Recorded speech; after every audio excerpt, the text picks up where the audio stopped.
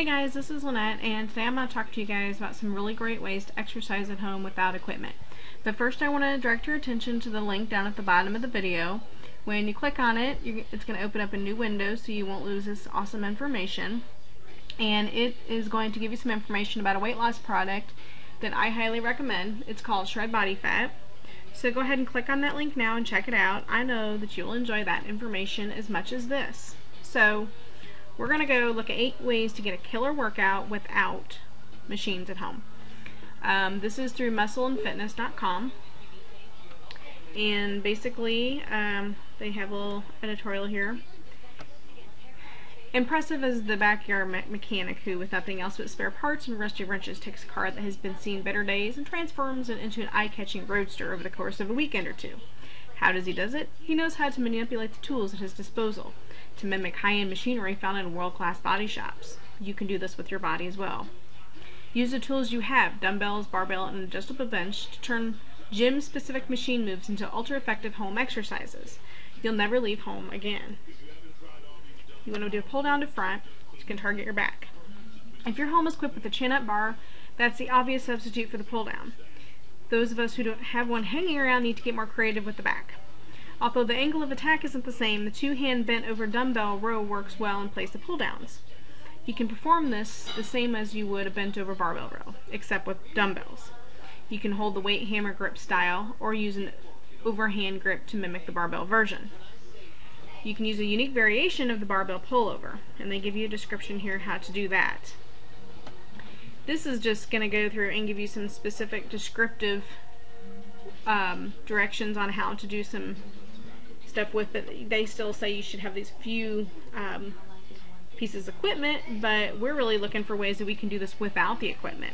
So I'm gonna, but if you have those, a barbell, a chin-up bar, you can do that. But if not, we're gonna go over these few. This is from Oprah.com.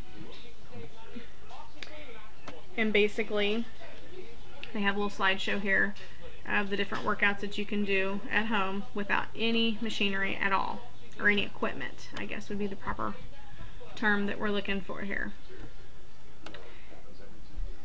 So here we have, the first one is the body weight squat.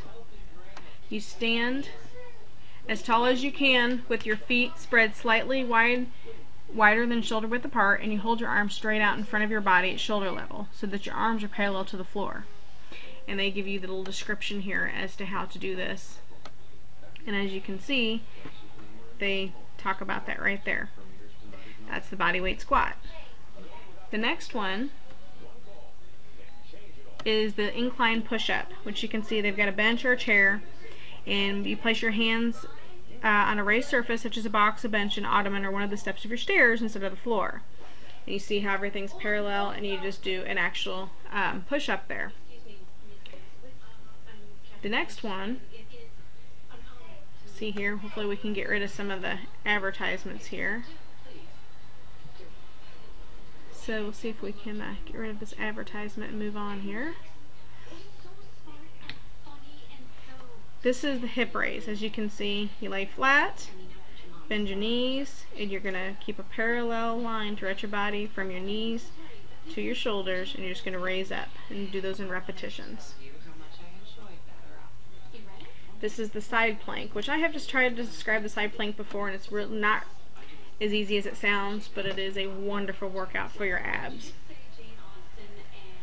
And the next one, okay, there's this is a modified. See, this is a modified plank. She's got her knees bent. It'll work some different parts of the body as well, so you could do both.